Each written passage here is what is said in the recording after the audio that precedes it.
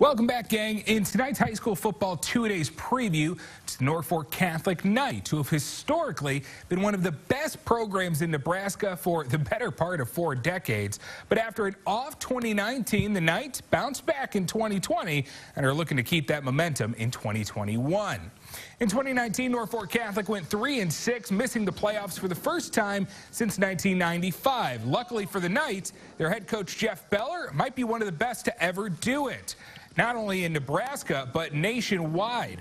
Bellar brought his team back to the playoffs last season, and despite having to find a new quarterback and tailback, with 15 other starters coming back this fall, the Knights are excited for another underrated tool, depth. We'll be a little different in that aspect, but I think we're probably a little deeper than we were a year ago just in terms of, uh, of some of the guys that we have. I think uh, we have some nice depth in our offensive line. Uh, we have some depth at running back and receivers. So, so we do have some people. We do. Some of them are young, and so we've got to just try to get them in some varsity experience and see how they see how they handle that.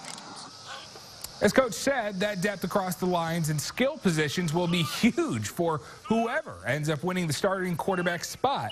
With six foot two senior Brendan Kelly as one of the team's top wideouts and six foot five Preston Burbach back at tight end, add in a return turning set alignment for that extra protection. And it's pretty easy to see whoever takes over at QB is going to have a good set of weapons.